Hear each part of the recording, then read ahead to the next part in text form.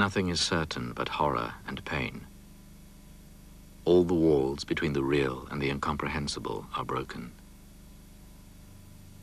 There is nothing but a dust of souls tossed by fate and crashing against each other. Poles fought Hitler on every front. Of the whole population, one in five perished. When the Poles fight, they say, for your freedom and ours.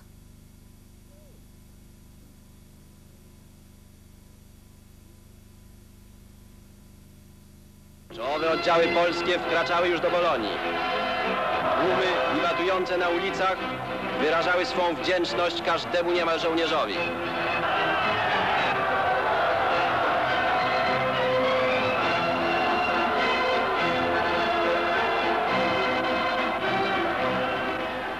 Most of these soldiers became exiles. This army never returned to Poland. No other nation suffered so much and gained so little.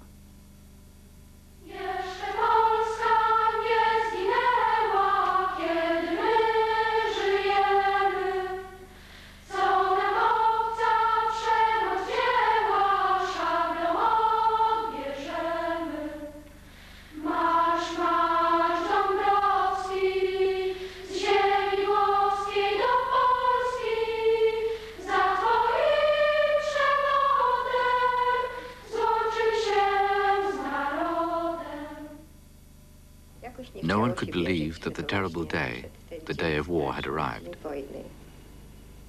No one could believe it. People were going about their business. You could go out and I had to do a little bit of shopping. You could go and do that. No surprise at my English uniform at all. General morale was extremely high. I don't think, honestly, people had really hoisted in how serious the German invasion was at that time. Warsaw rejoiced. Two days after the Nazi attack, Britain and France declared war on Germany. The papers boasted that the United States was about to join the war, but America stayed neutral. The Germans pressed on.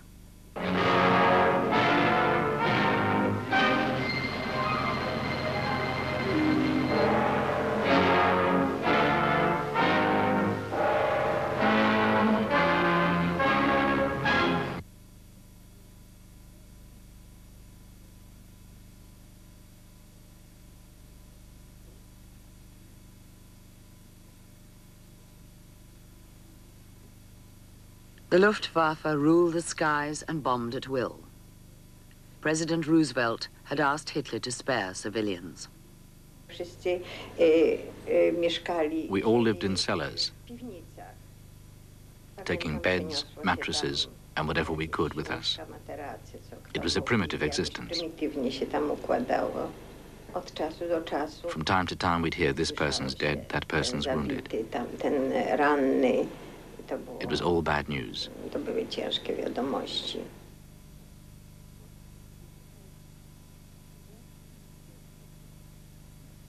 Poland's leaders had exalted the army as modern and well equipped. It was neither.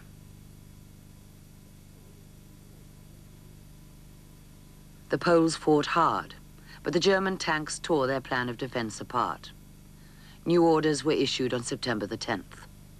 The divisions in front of Warsaw was to stand their ground uh, and to defend it to the last man and to the last round, and the rest of the army was to withdraw as far as possible.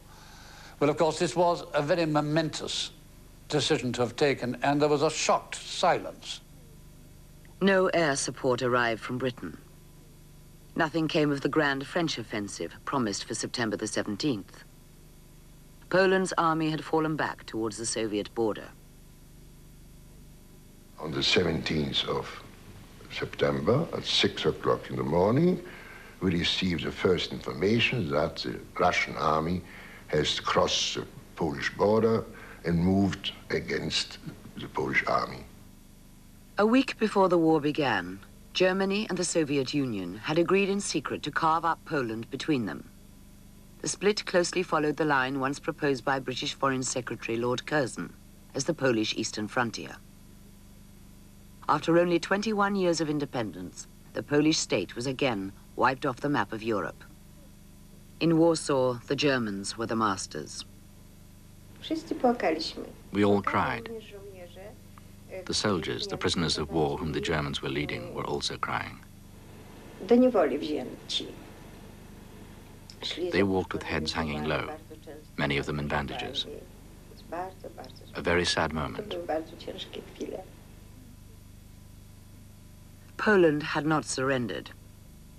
Thousands escaped into Romania and on to France, where a new government and army were being formed by General Władysław Sikorski. Poland resisted courageously the united forces of destruction intent on overwhelming the entire world. Podjęła It accepted a contest too unequal to have a chance of victory. wygrać. Lecz że ją But the fact that it lost so quickly was the fault of the system, which had been in disharmony with the nation, spending its energies uselessly and harmfully. The new Polish government, settled at Angers in France, was recognized by Britain, France, and the United States. The resistance inside Poland acknowledged its authority. I jeden łączy ból. Jedna tęsknota do tych lasów, do tych pól. Jedna nas łączy dola lepsza albo zła. 35,000 Polish soldiers had reached France. Poles from all over Europe joined Sikorski. When Hitler moved west in May 1940, the Polish army embarked once more to fight the Germans.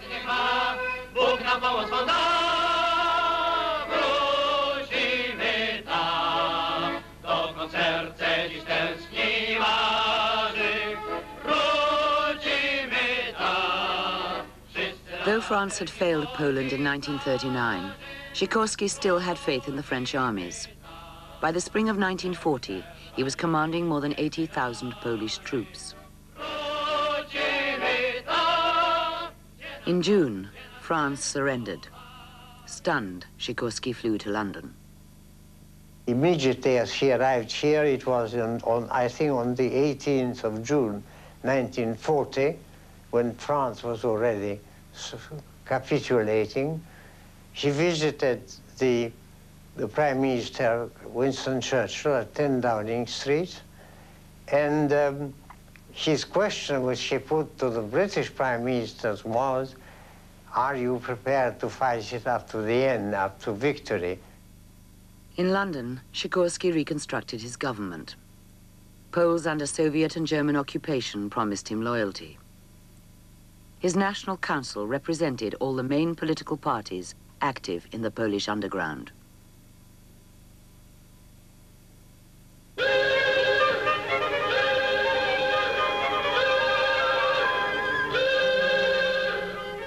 Hitler held the continent, but from Britain the Poles fought on.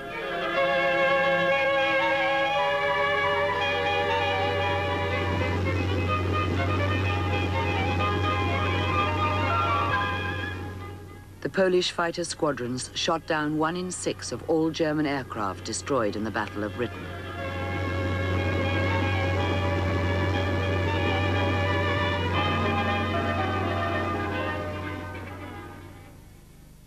Less than a third of Sikorski's army was rescued from France. Their new home base was Scotland, 25,000 homesick Poles. Churchill broadcast to the Polish nation.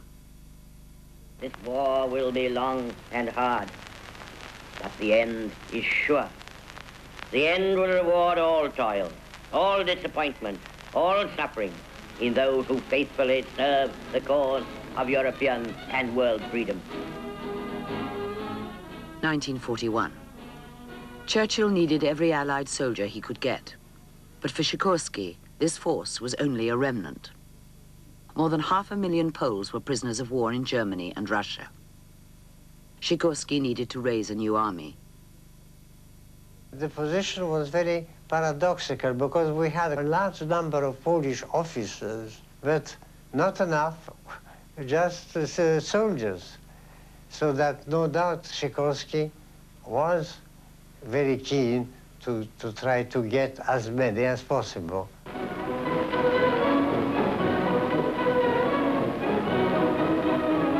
Chicago, USA.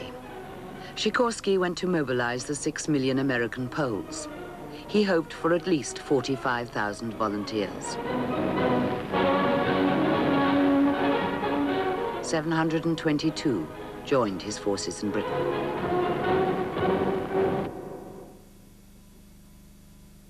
June 22nd, 1941. Hitler invaded the Soviet Union. The German tanks drove across Soviet-occupied Poland and deep into Russia. War between Poland's traditional enemies brought hope. We knew that it was thanks to the weakening of our two powerful neighbors that we were able to regain our independence. So that, no doubt, this attack against Soviets was to us Poles a, a, a very favorable sign. Churchill pressed Sikorski to sign a pact with the Soviet Union. Polish captives in Russia would be granted what was called an amnesty. A Polish army would be raised in the Soviet Union. The question of the future Polish-Soviet border was shelved. All we had to overcome was a sort of political distrust of Russia. But what the Poles had to overcome was the fact that there'd been a, a fourth partition of Poland in 1939-40 by the Russians, who had stabbed them in the back and had had a large number of Poles, including a very large proportion of the Polish intelligentsia, as the prisoners in Russia. Over a million people had been taken from their homes in Soviet-occupied Poland. Loaded into cattle trucks, they were deported to the empty wastes of Soviet Central Asia, to Siberia, and beyond the Arctic Circle. We slept in a communal barrack, um, just on wooden planks, and uh, there was no cruelty. We were just told that uh, we can't escape from there. We'll be eaten by polar bears if we do, or we will die in the snows. And uh, if we work and earn some money, we can survive. And there is a Russian saying, who doesn't work doesn't eat. Polish families had been scattered to camps, collective farms, slave labor mines. When they heard about the amnesty, thousands set out to find the new Polish army. They traveled by foot, rail, by sledge, even by raft. The river started freezing at the sides, and uh, sometimes the raft couldn't make it, and uh, we just had to cut pieces of the supports away to negotiate ourselves through it. And um, sometimes the, the, the, rafts would stand on the um, shallows, and then whoever was on them had to go um, into the river to push it. To camps in the foothills of the Ural Mountains came emaciated Polish prisoners captured by the Red Army in 1939. Sikorski's pact with Stalin had made them soldiers again.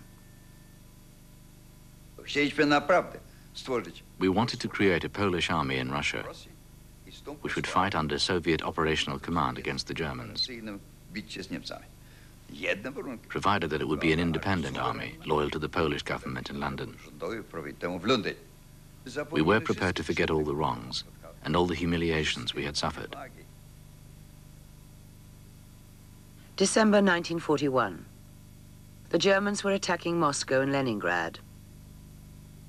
Sikorski flew to Russia. Waiting to meet him was the man whose signature on the 1939 Nazi-Soviet pact had condemned Poland to death. Soviet Foreign Minister Molotov. It was the month that Japan's attack on Pearl Harbor brought the United States into the war. At the Kremlin, Premier Stalin receives General Sikorski. In a new comradeship and understanding, they sign a pact which unites their countries against the German menace. Stalin still laid claim to the Polish territories occupied by the Red Army in 1939, where ethnic Poles had always been a minority. Again, the frontier question was left unsolved.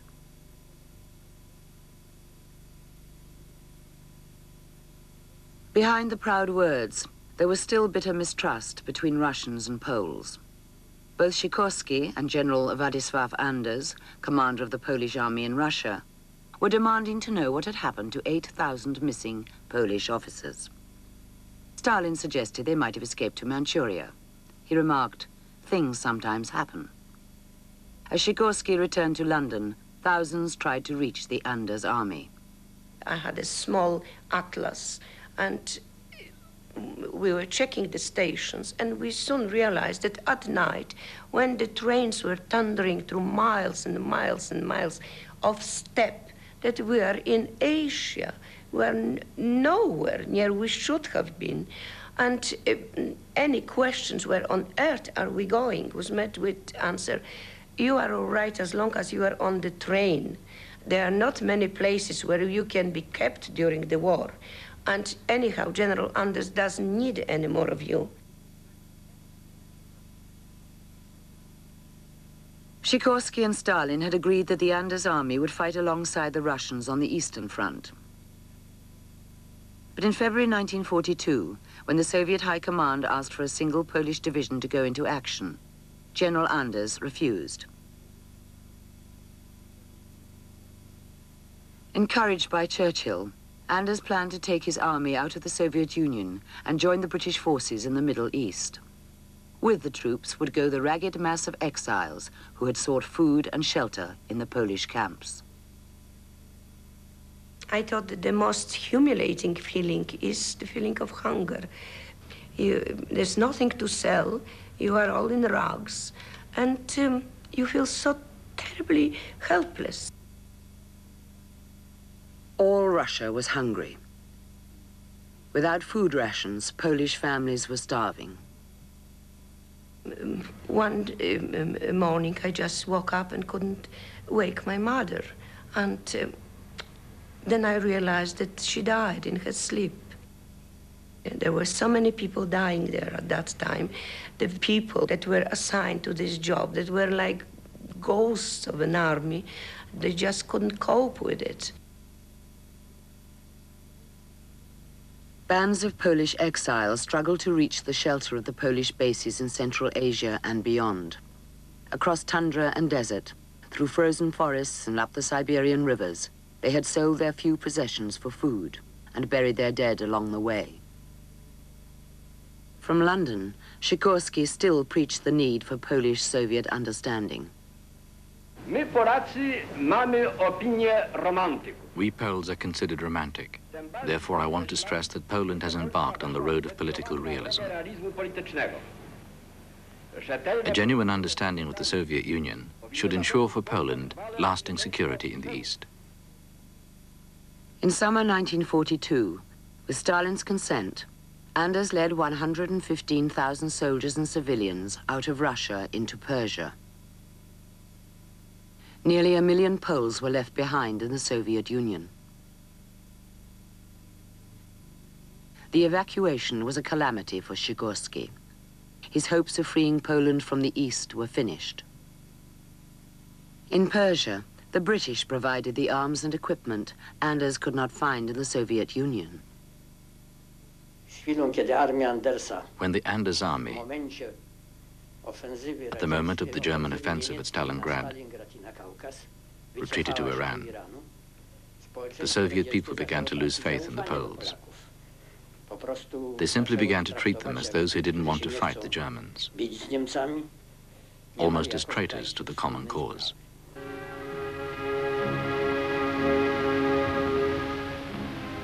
The Nazis were eager to exploit Soviet-Polish tensions. In April 1943, they dug up 4,000 corpses in a forest at Katyn, near Smolensk.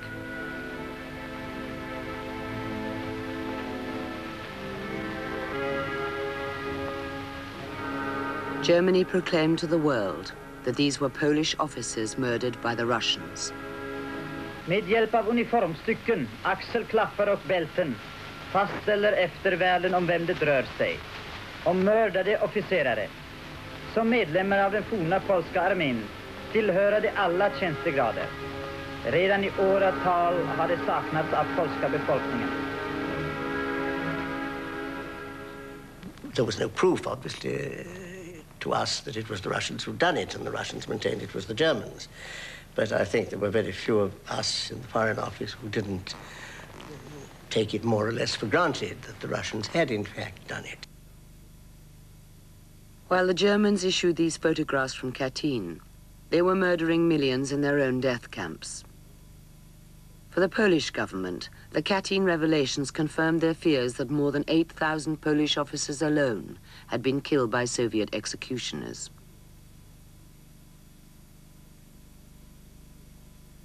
When the Poles demanded a Red Cross inquiry, Stalin broke off diplomatic relations with Sikorski's government. He accused them of collaborating with Hitler. Of course, we, we, we were pretty horrified, but uh, we were not quite so directly affected, and so we were able still to think in terms about what can we salvage from this in terms of a continuing Polish-Soviet relationship. In Russia, Stalin now fostered Poles friendly to the Soviet Union. Polacy. Poles from all parts of Poland. Poles from all parts of the Soviet Union. People of different outlooks and political convictions. Today we are united by a great common aim, following the same common road. Deported Poles who had not joined the Anders army were recruited into a new force. Obviously, they didn't get to know the Soviet Union from the best side. And at the beginning, their attitude to the Soviet Union and to the army was one of distrust. Gradually, however, this distrust disappeared once they realized that the army was of a national nature, with all the Polish emblems, hymns, and decorations.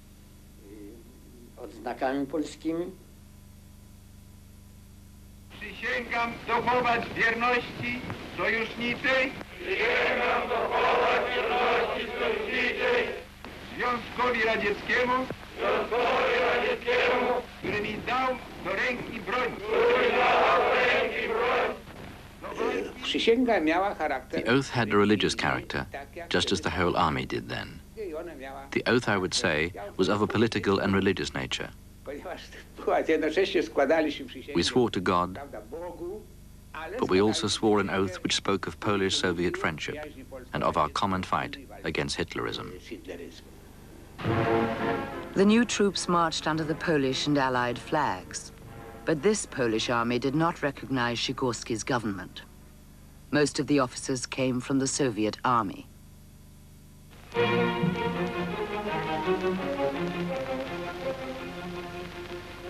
Polish soldiers in Scotland training for their paratroop wings. A hundred human falcons swoop upon their prey.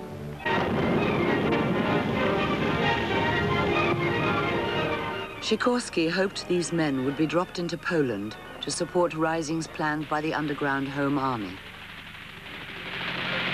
The attack has been successful. The enemy routed, the dress rehearsal is over.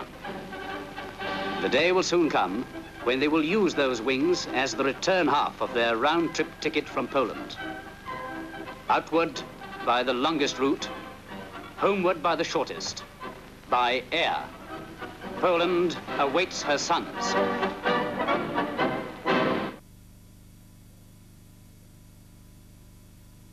June 1943. In the Middle East, Sikorski watched the Anders army continue its training. The real burden of war was being carried by the Red Army. Sikorski was planning an effort to restore relations with the Soviet Union. He started back to London. A few hours after this photograph was taken, his plane crashed in the sea off Gibraltar. A British court of inquiry declared that the crash was an accident. Only the pilot survived.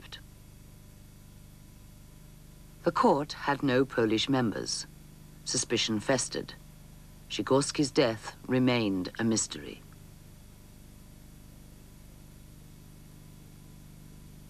Through the English countryside, the body of Poland's leader was escorted to a Polish military cemetery at Newark in Nottinghamshire.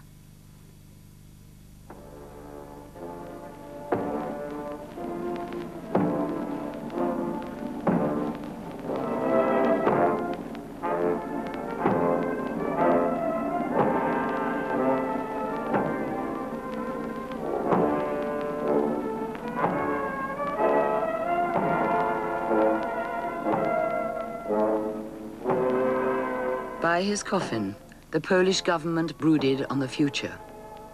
Sikorski had been both commander-in-chief and prime minister. Now the leadership divided. General Sosnkowski commanded the forces. Stanisław Mikołajczyk became prime minister.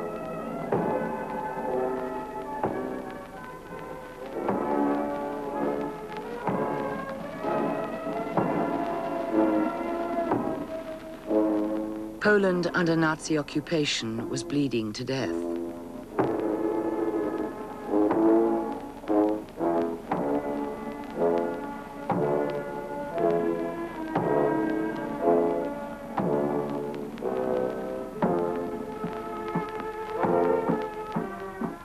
The government no longer commanded all Poles. In Russia, there was a Polish army sworn to Moscow.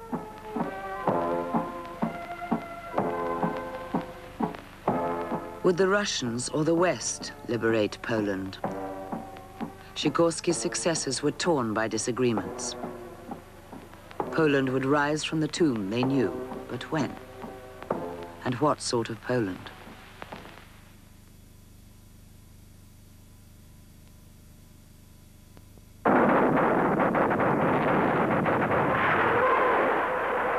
The day after General Sikorski's funeral, there began at Kursk in Russia the huge tank battle which decided the war in Europe.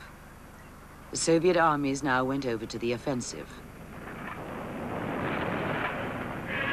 Two months later, in September 1943, recruits of the new Polish army in Russia moved to the front. General Zygmunt Berling was their Polish commander.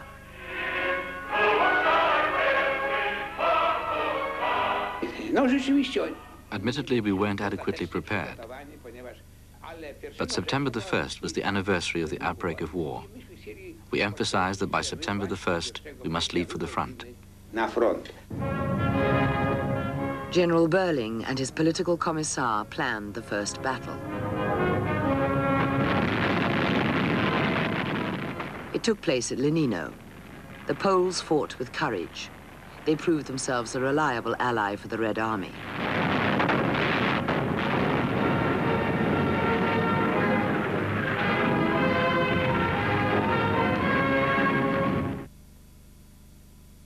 In Scotland, the new Prime Minister Mikołajczyk inspected his Polish troops. Mikołajczyk, leader of the Peasant Party, Poland's largest political movement, was ready to compromise over the eastern frontier with the Soviet Union if he could be certain that Poland would regain full independence after the war. But his commander-in-chief, General Sosnkowski, was utterly opposed to any concessions. Here I was between two people, the prime minister and the commander-in-chief, who were almost not on speaking terms with each other. Um, if I was too close to Mikołajczyk, Sosnkowski could become instantly suspicious of me. If I was too close to Sosnkowski, then Mikołajczyk wouldn't trust me. Wszystko, coście przecierpieli, jest zapisane. Everything you have suffered has been noted in the books of eternal justice and shall become the germ of a new and happier life. I szczęśliwszego życia. We shall go on through land and sea, through mountains and rivers, through forests and steppes, with faith in our hearts and the image of our motherland in our thoughts and our longing. Sosnkowski was, first of all, totally distrustful of the Allies. He believed that that uh, British government wants simply is simply trying to find a face-saving formula uh, to retreat from its commitment to the to Poland, uh, legal commitments and moral commitments. Um, he was very gloomy in his uh, uh, prophecies about the Soviet policy and behavior. He was sure that Poland will become another Soviet republic. Let the future generations of Poles in a free and happy Poland, remembering the time of fire and flood, say about us that the Polish soldier, at the great turning point of history, has done his duty to the end. He was predicting at least a political conflict and maybe even a military conflict between the West and the East. And in that situation, he felt there may be another chance for Poland. Mikołajczyk was excluding the possibility of war. He believed what Churchill told him there will be no third world war in next 10, 20, 30 years. Mikołajczyk's cabinet could not agree on a frontier compromise with the Soviet Union. Britain and the United States grew impatient. We had, we had to bring pressure to bear a good deal, I think, to say, well, now, okay, what is going to happen after the war if you haven't got some kind of agreement with the Russians? Their army is going to, as they would say, liberate, and other people might say occupy Poland. And uh, we can't stop it. I mean, uh, we had no means of stopping it. The British and United States delegations flew eastwards to keep another appointment with destiny, to Tehran, young capital of the new Persia.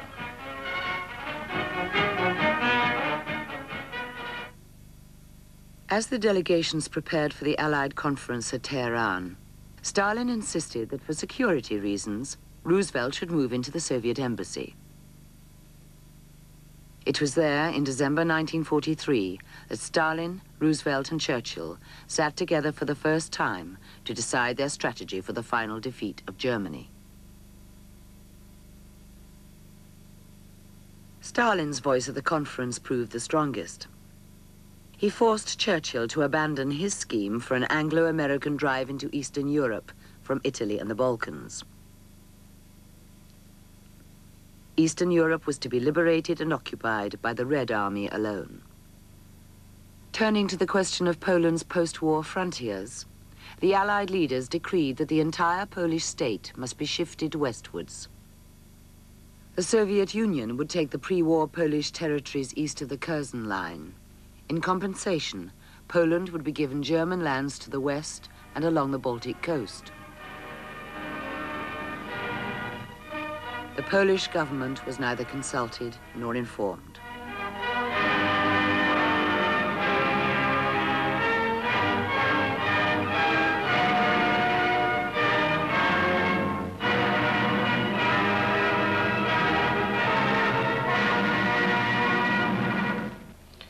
The Polish government cannot recognize unilateral decisions or fait accompli which have taken place or may take place on the territory of the Polish Republic. Nevertheless, it has frequently given expression to a sincere desire to achieve an understanding with the Soviet Union on a just basis acceptable to both sides. He did see the necessity uh, of trying to reach the best terms possible with Russia, but at the same time he had to carry along with him many of his colleagues who were by no means uh, ready to do that. Polish government, scene three, take two, Polish. With this in mind, the Polish government is asking the British and American governments to intervene and bring about talks between the Polish and Soviet governments. Washington, June 1944. Mikołajczyk had four meetings with Roosevelt. The president assured Poland of his support. It was election year. He needed the Polish-American vote. Unknown to Mikołajczyk, Roosevelt cabled Stalin, confirming the secret decisions of Tehran. Marshal Rokossovsky, commander of the Soviet armies in Poland, watches his men advance to the crossing of the river Bug on the road to Lublin.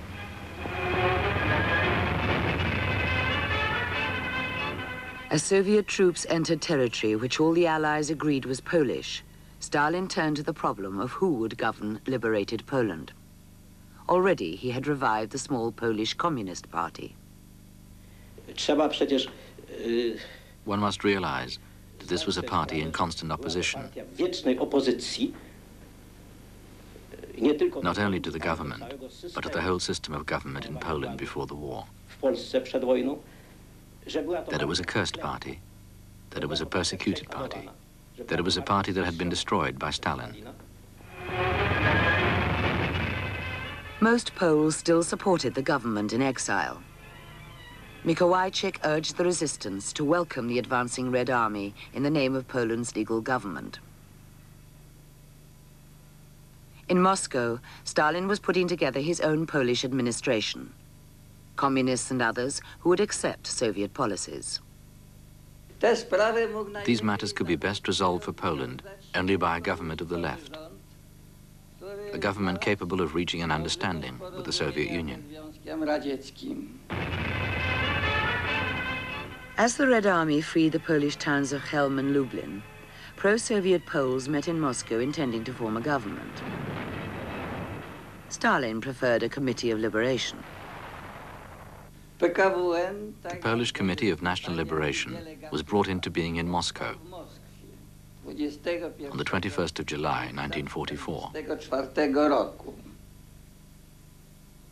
The members of the committee represented none of the main political parties. They agreed to new borders along the Curzon line. Most Polish soldiers advancing with the Red Army lost their homes to the Soviet Union. After a while, of course, they realized that the Polish eastern frontier would be moved west.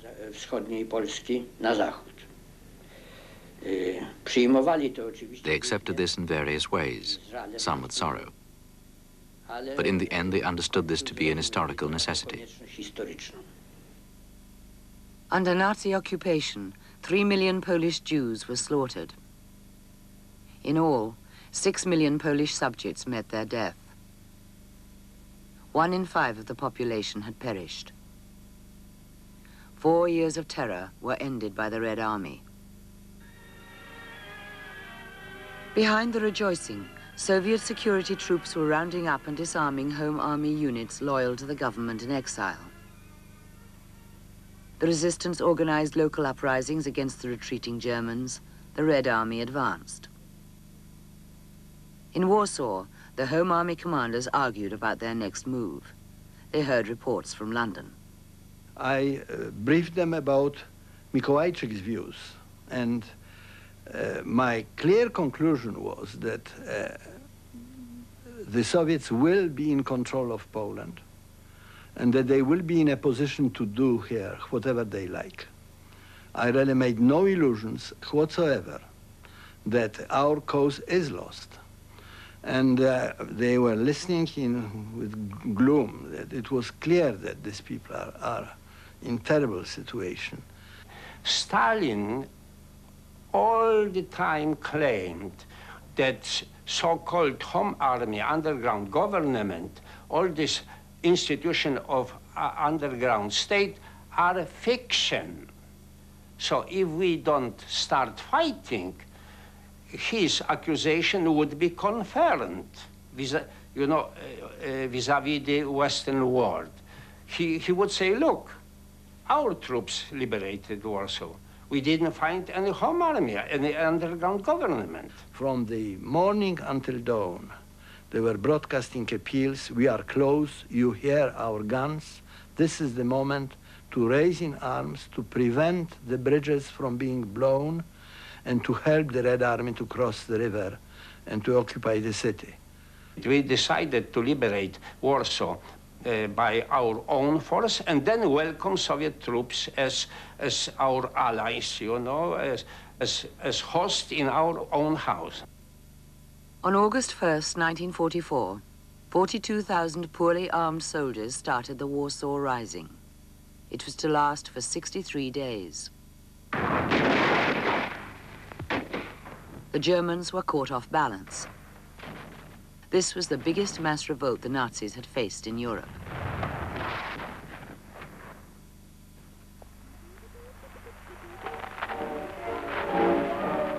The people of Warsaw celebrated their early victories.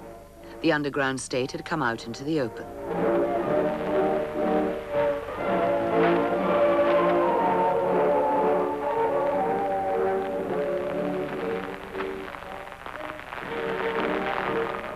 The population was united. Even Warsaw's communists fought under the orders of the Home Army. The uprising began in an atmosphere of enormous enthusiasm. This was the one piece of free Poland retrieved after so many years of German occupation. The popular belief was that the uprising would be victorious. The first disillusionment came only when we realized that the uprising did not take in the whole of Warsaw.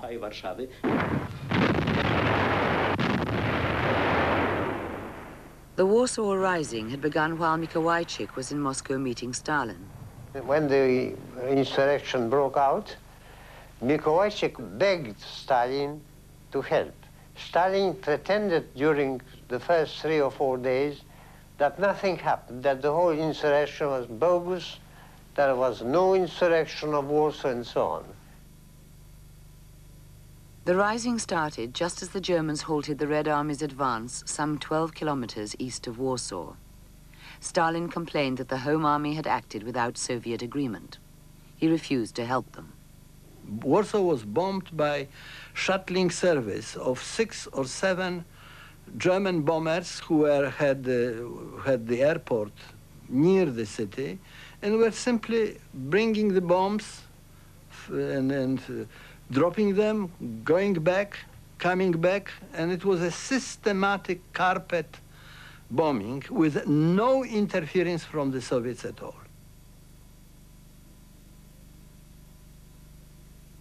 The Western Allies begged Stalin to relieve Warsaw.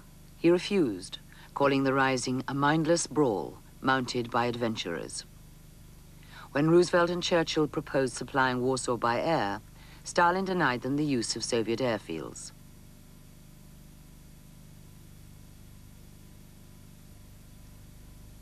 As ammunition ran out, the insurgents cannibalized unexploded bombs and shells. Improvised munitions factories flourished.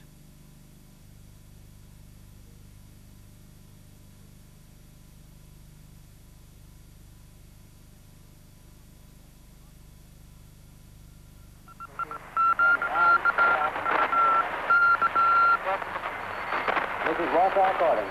Warsaw calling. Warsaw calling all the three nations.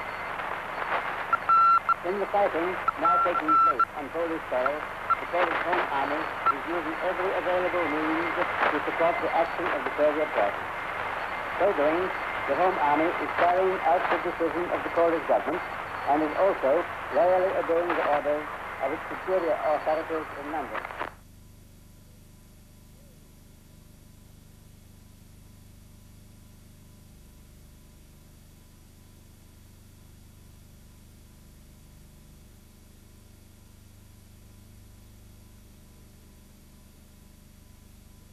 The Home Army had planned to liberate Warsaw within days. They ran out of ammunition, out of food and medicine, in what became a two-month siege.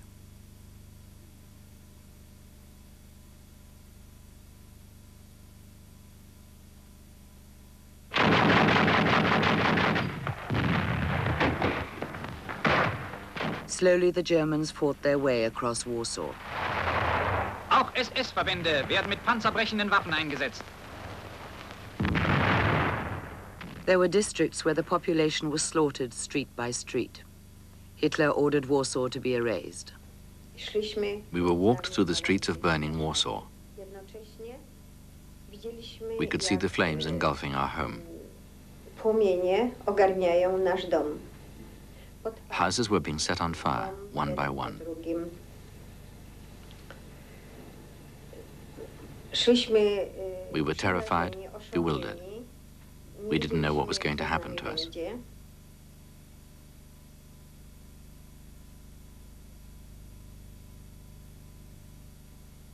The population retreated into the streets, still in Polish hands.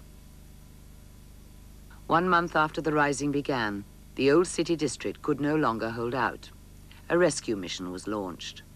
The general was terribly impatient that the Poles do not make a progress, that they were expecting to attack the Germans, and there was very little progress.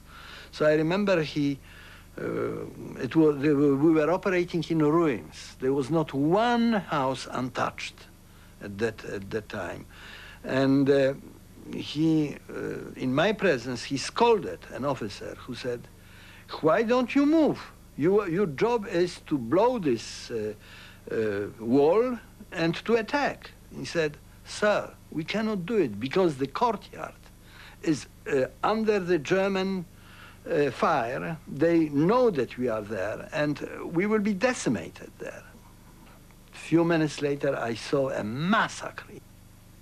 There were girls with the mines and the grenades was, were dropped one after the others and they, most of the wounds were legs, so that most of them were without legs after they were you know, transported from the. I don't know how many people were killed in my, in, in front of me. And it was, I felt it was senseless because we were, we had such, uh, the, the odds were so overwhelmingly against us that to push these young people, they were all youngsters, 18, 17, 16.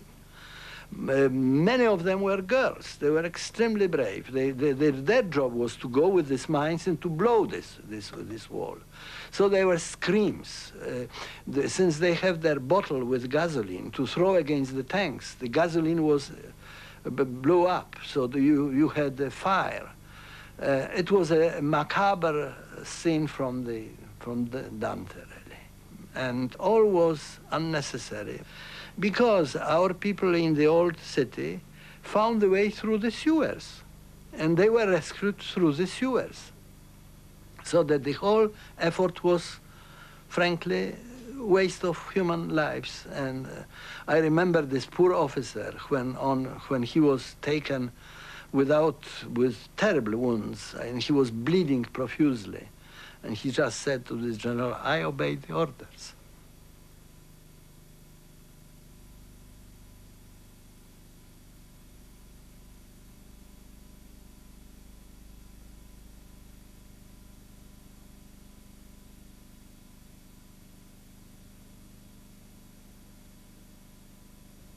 I wtedy przeważający nastrój By this time, there was no longer any belief that we would be victorious. nie było już wiary, że zwyciężymy. But there was still the desire to resist, to fight to the end. do końca. By September the 15th, Soviet forces, including the Polish Berling army, had reached the riverbank opposite Warsaw. I would like to have thrown myself straight into that river and gone across. do tej rzeki i przejść przez tą rzekę. This was the normal desire of every soldier, Pragnienie każdego żołnierza to help his compatriots fighting the Germans. Political officers relayed the Soviet version of events to General Berling's troops. Cele tego powstania The aims of this uprising, the political aims of the uprising, were anti the people, anti Soviet, and all in all, directed against us, the soldiers. In the sixth week, Stalin ordered some supplies to be dropped to the insurgents. It prolonged the agony. In the course of the rising, more than 200,000 Poles were killed.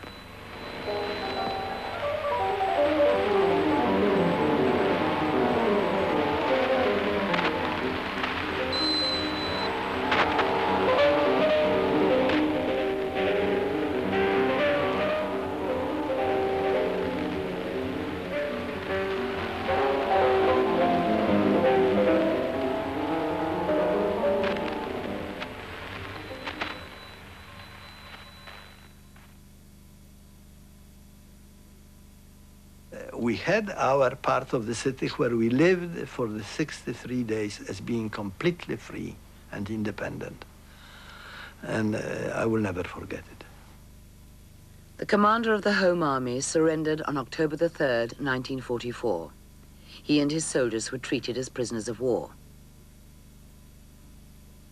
The Germans marched all 800,000 civilian survivors out of Warsaw. This war will be long and hard, but the end is sure. The end will reward all toil, all disappointment, all suffering in those who faithfully serve the cause of European and world freedom. Once again, Britain's Prime Minister poses for a photograph with Joseph Stalin in Moscow. Three days after Warsaw surrendered, Churchill and Stalin met in the Kremlin. They sent for Mikołajczyk. They told him to accept the new Polish frontiers agreed at Tehran. Mikołajczyk said no. The Polish government in exile was doomed.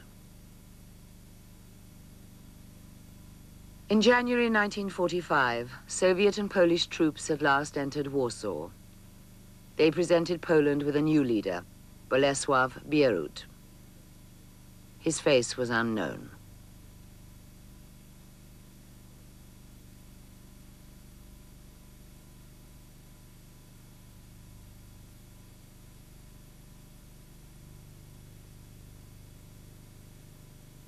Speak of history, and you're safe. The dead shall not rise up against you. Ascribe to them whatever deeds you want.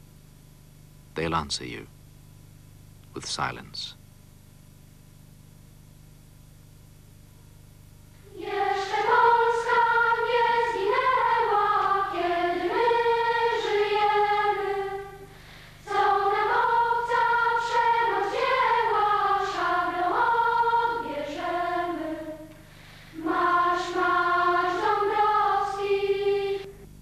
Poland was again seen as Christianity's last line of defense, this time against atheism.